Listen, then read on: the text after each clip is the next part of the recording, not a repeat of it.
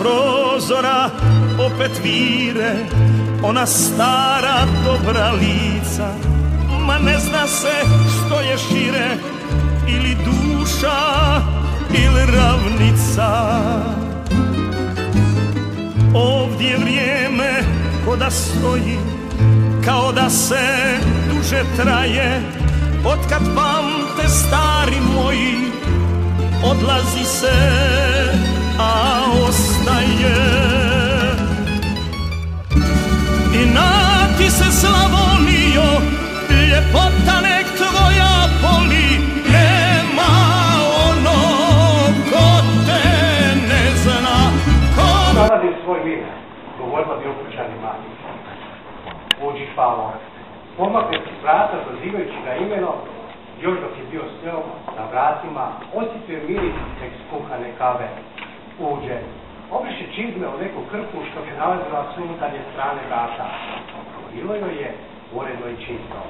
Sve na svom mjestu, umivaonik, njen krevet, uredno namješten, stol dvije stolice, a na njemu slika njegova oca. U zid puše peć. A na njoj tek skuhana kava, pored peći, kutija, nešto drva. Ona mu izvuče stolicu te rekne, sidi, nije čekajući da to on učini, ode do ormara. Zabije ruke u njega, izbavi neku kutiju, a ide dvije prekrasne po svojom se šalice sa svaka sa zlatim rubom. Ispod ruba, obiju šalice, opirena slika, e, opirena glava stara Franje Josipa kao na dukatu. Ovdje imao velike prčine. Stjecao se dojam kako se smije na njih, likujući što je opet na slobodi. Mamo, dobro da Milice to nije našao u pretresu. Dava si, tiho. Šuti. Hoću na miru da popijem kavu s tobom.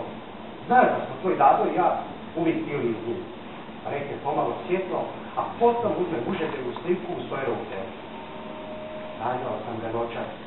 Prozbori dok je, sliku zaturala u staklo ormara. Podigne se na prste da im poljubi. Pavo se zamisli, razmišljajući o tome, ako nije jedini kome, nedostaje njegovo